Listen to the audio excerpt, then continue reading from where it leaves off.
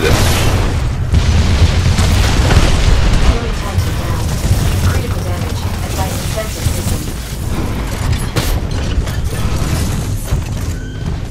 The only thing I don't like about Legion is that it makes me very, it makes me vulnerable to 1v1 sometimes, like when I'm, like they catch me out first or if I'm weak.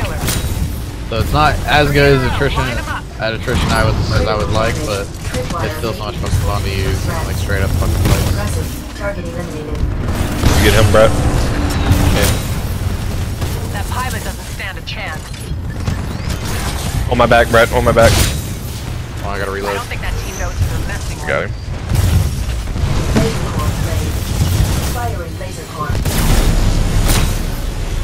You are dominating.